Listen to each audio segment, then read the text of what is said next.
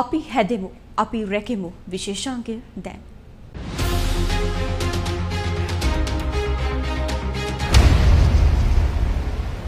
අනිවාරෙන්ම බරපතල ආහාර අර්බුදයක් හමුවෙයි අප රට අද තියෙන්නේ. මීට මාස හත්ත අටකට පෙර සිට මෙරට කෘෂිකර්ම විද්වතුන් ඒ පිළිබඳව අනතුරු ඇඟව්වා. නමුත් බලධහරින්ගේ ඇස් ඇරුණේ නැහැ. ලොකුලොක්කන්ට ඉන්දන ගෑසන් පොහොර විතරක් නෙමෙයි අද මේ තියෙන එකදු ප්‍රශ්නයක්වත් පෞද්ගලික බලපෑමක් බවට පත්වෙලා නැහැ. සමහර මැති ඇමති නිවෙස්වල යූරයාමිටි හංගගෙන හිටිය බව වාර්තා වුණා. සමහර නිවෙස්වල ගෑස් සිලින්ඩර හැට හැත්තෑව තිබුණ බවත් වාර්තා වුණා. මේ මැති ඇමතිබරුන් දැනටමත් ඉන්දියාවෙන් බාස්මති හරි ගෙනල්ලා ආහාරයට ගන්න සූදානම් වෙනවා ඇති. ඒත් අසරණ වෙන්නේ අපි. එනිසා මෙරට මේ විෂය දන්න ගොවි මහතුන්ගේ සිට ආචාර්ය මහචාරවරුන් දක්වා හෙට දවසේ කුසගින්න අවම කරගන්න ඔවුන්ගෙන් වැදගත් පණිවිඩයක් ඔබට දෙන්න අප තීරණය කළා. අපි හදමු අපි රැකෙමු. අද මේ පිළිබඳව අපහා කතා කරන්නේ ජාතික ගොවිචන සංවිධාන එකමුතුවේ සභාපති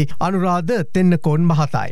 දැන් එකදු බත් ඇටයක්වත් අහකදාන්න බෑ. එකදු කොස්මදුලක්වත් ගස් යට විනාශ වෙන්න දෙන්න බැහැ. අප සූදානම් වෙමු හැකිතරම් කොස් දෙල් අල්ල බතල. කල් තබාගන්න පුළුවන් ක්‍රම අත්හදා බලන්න.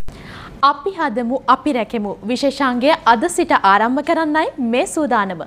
අපේ රටේ ආර්ථික මධ්‍යස්ථාන බොහොමයක් තියෙනවා. ඒ හැම ආර්ථික මධ්‍යස්ථානයකම ගොඩාක් දුරට ගේන එළවලු වර්ග නාස්ති වෙනවා ගොඩක්. ඒ කියන්නේ වට්ටක්කා, බීට්, කැරට්, බෝංචි ඇතුළු ගොඩාක් ද්‍රව්‍ය. ඒ නිසා අපි ඉල්ලා සිටින මේ නාස්තිය වළකා ගන්න අපි පුජ්‍යලිකව මැදිහත් වෙලා මේ වගේ දේවල් පොඩි පොඩි කෑලි කපලා සෙලෝපෙන් අරා මොනාරි ඇසුරුම් කරලා ෆ්‍රිජ් එකේ හෝ තමන්ගේ සීතකරණයේ බහලු තියාගන්න. ඒකත් සමහරට සති දෙකක් තුනක් තියාගන්න පුළුවන්. ඒක තමන්ගේ පරිභෝජනයට විතරක් නෙමෙයි කාට හරි නැති බැරි කෙනෙකුට දෙන්න පුළුවන් වෙන පරාර්ථකාමී ස්වාමි මනසිනුත් මේ ආහාර අර්බුදය ජයගන්න අපිට මැදිහත් වෙන්න පුළුවන්. ඒකත් අපි ඉල්ලීම් කරන්නේ ඒ වගේ කාර්යයන් පවා අපිට කරොත් මේ සාගතයෙන් ගැලවෙන්න අපිට පුළුවන්.